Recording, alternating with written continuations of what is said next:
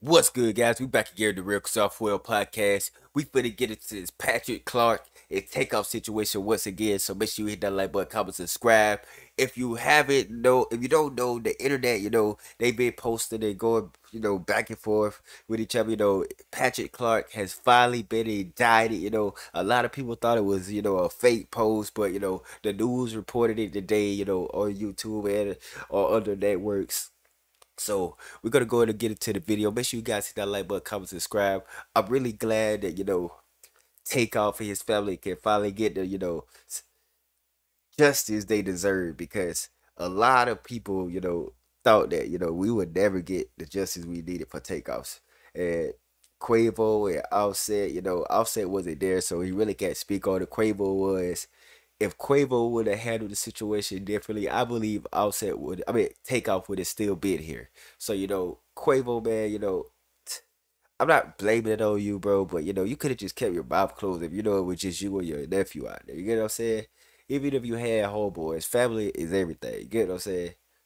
All the other motherfuckers that gonna ride for you. Quavo was probably, I mean, Takeoff was probably the only one that was gonna ride for you. That's probably why he all ended up getting blinked. You know what I'm saying? So, you know, hit that like button, comment, subscribe. Let's go ahead and get into the video.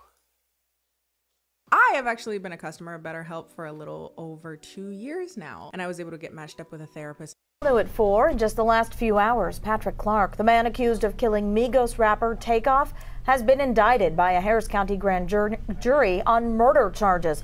That's according to the Harris County District Attorney. Now, Clark was arrested for the murder in connection with Takeoff's death. Takeoff was shot and killed after a private party at a bowling party downtown in November of last year.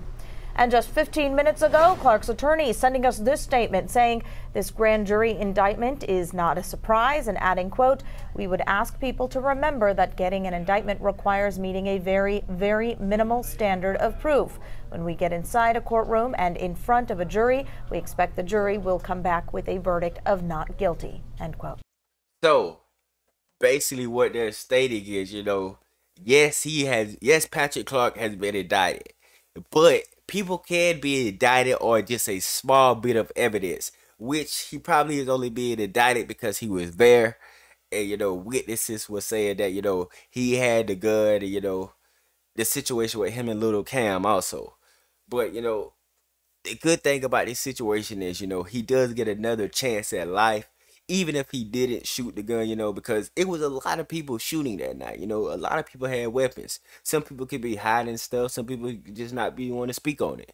But you know, if this guy did, you know, do what he did to Takeoff, you know, I did think that you know he deserves what's coming to him. You know, you can't just kill anybody and don't think nothing's gonna happen to you in life. You get what I'm saying? You're not gonna get karma or you're not gonna go to jail for it. Either way, it's coming to you. But you know, I'm really glad that you know Patrick Clark is gonna actually get to go to trial with it because we're gonna get the details of this fucking case. A lot of people been hiding shit. I know y'all want to know the real shit. What happened to Takeoff? Because there's no fucking way you know Quavo just boom boom say what he say and you know everybody just pop off. It had to be something way deeper, you know, about more money. You get what I'm saying? So you know, hit that like button, comment, subscribe, guys. It's the Real Quasar4L Podcast.